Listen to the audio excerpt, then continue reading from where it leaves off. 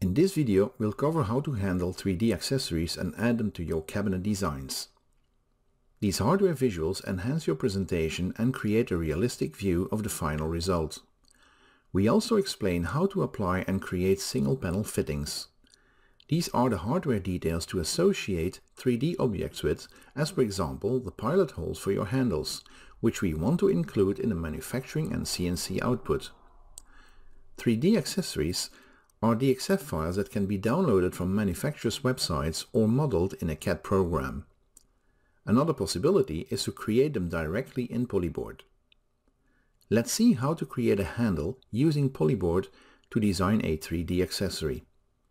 We start a cabinet using the manufacturing method Z slash 3D accessories that is provided with our quick design libraries.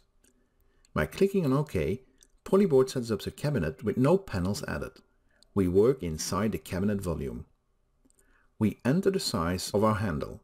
Take a height of 200 mm, a width of 20 mm and a depth of 50 mm.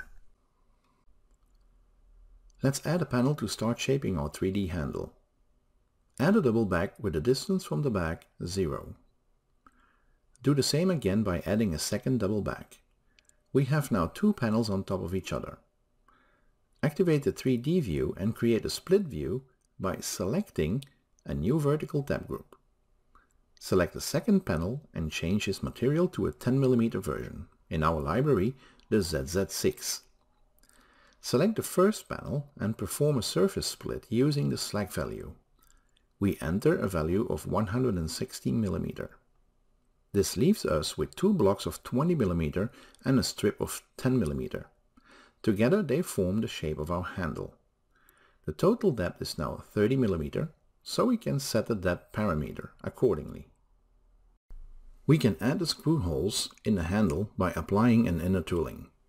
Select the splitted panel, click on the three dots and go to inner tooling. Click on the plus sign to activate the tooling and select a circle with a 3mm diameter. Set the depth value to 10mm and the face to back. Now we need to position the hole on the two parts. Set your panel reference on the top center and change the position of the hole to center it on the part. In this case the value is 10 mm in the Y position. Add a second tooling and now align it with the lower part. Set the panel reference to the bottom center and set a Y value. Don't forget to set the face on back and click on OK. In the 3D view you can now see the shaped handle with holes. These holes are not representing a hardware detail but only a visual. The hardware details will be added in a later stage. To be able to import this handle in Polyboard as a 3D object, we need to export it as a 3D DXF. Go to File and select DXF 3D Export and save the file for example as Handle 200. Close the cabinet. Go to Libraries and select the 3D accessories. The 3D visuals are stored in the 3D accessories library. We have a selection ready to use here. Click on the plus sign and select your file. Polyboard imports the part in the view window.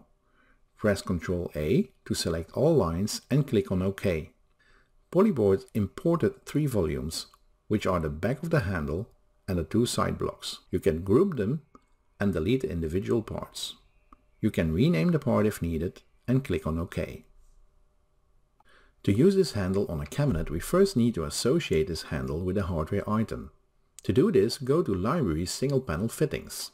This is a specialist library for hardware that can be positioned anywhere on a panel's face. In the handles section you have already several examples of handles with associated hardware details. Let's create a new handle. Click on the plus sign and name it handle-200-vertical. Click on the plus sign in the tooling to add the handle. Set the type to 3D accessories and select our earlier created handle from the 3D accessories library. It will come positioned depending on the way it was created originally. This position can be set using the reference axis in combination with the orientation parameter. In our case, we need to use the Y plus axis to position our handle vertically. We can add a color and a brightness value. A specific texture is also possible. We can now add our hardware toolings for the holes to be drilled in the panel when applying this handle. Click again on the plus sign and set the type to drilling. Apply a diameter of 3 mm and confirm that this needs to be a through hole.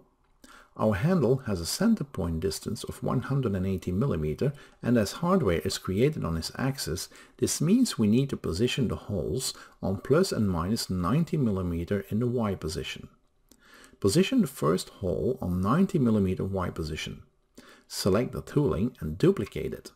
All you need to do now is setting the Y position on minus 90 mm. You can see now that both holes fits perfectly with the holes of the handle. Click OK to finish the creation. Let's start a new cabinet using a standard manufacturing method. We add a door to it and now we go to Structure, Edit, Single Panel Fitting. Click on the plus sign and select the fitting we created earlier, handle 200 vertical. You can now position it correctly using the panel reference. We set it to the right side.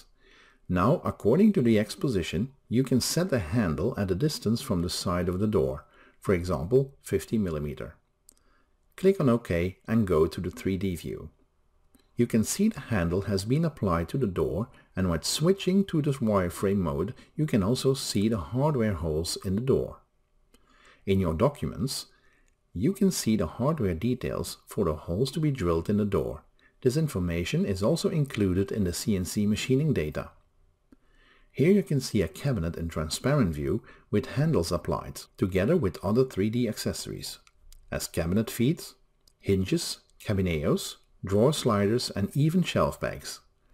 We have a wide range of 3D accessories and single panel fittings, but you can set up your own too. Thanks for watching this video.